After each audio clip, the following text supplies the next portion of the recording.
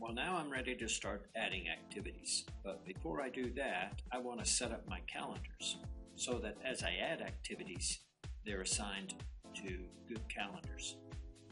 To set up my project calendars, I want to go to Enterprise Calendars.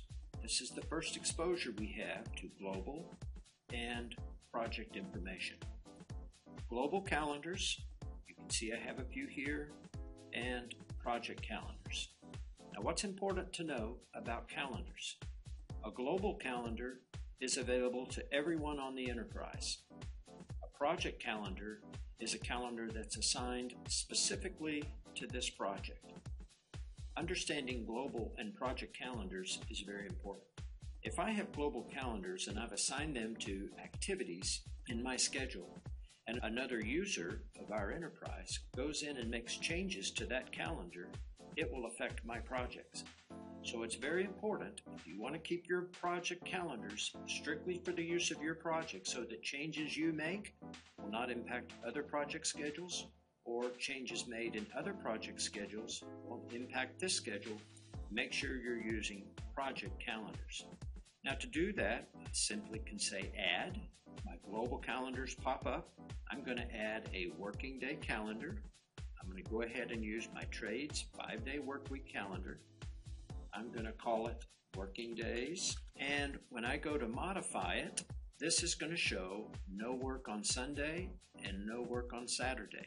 This is a five day work week calendar that I want to add holidays into it. So I can highlight December 25, say non-work, December 26, non-work, January, Martin Luther King, non-work, February, President's Day, non-work. I can go through my calendar and assign these holidays so that my activities, when they fall on those particular days, will not count those days as working days. So you can go through your calendar, set these non-work days. There is my working day calendar. Let's add another one calendar days because many of the activities that you have will need to count weekends. For example, if you're pouring concrete and you need to allow time for concrete curing, you'll need to add a calendar that counts every day. Call this calendar days. I'll modify it. Notice Sunday and Saturday are still blocked off. To change that, I go into my work week and I'll change Sunday to an eight hour day and Saturday to an eight hour day.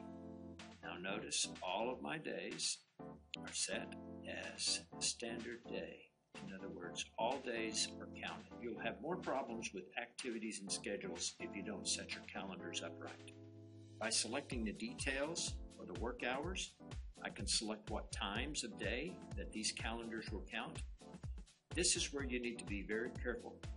If I show one activity assigned to a calendar that finishes at 4 in the afternoon, and its successor is assigned to a different calendar that works till 5, that successor will show starting the same day that this activity finishes. Actually, you can't see it, but it would show starting at 4.01 p.m. And all of a sudden, your dates will be off. So it's very important that you're very consistent in your calendar structure and how you set those up to cause less confusion. So now I have two calendars, working days and calendar days.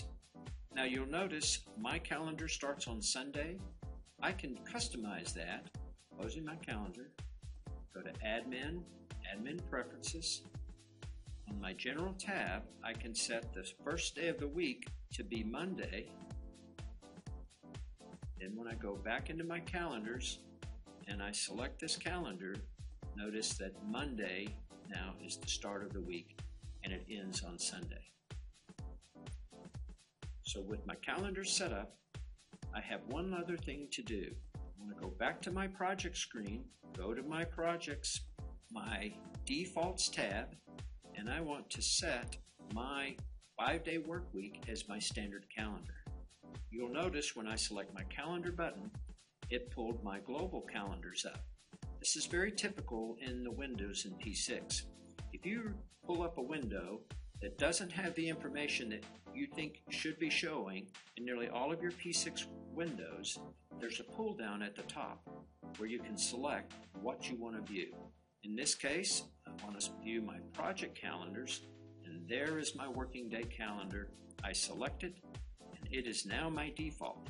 So when I add activities to my schedule, they will automatically be assigned by default to the working day calendar. Now I'm ready to start adding activities.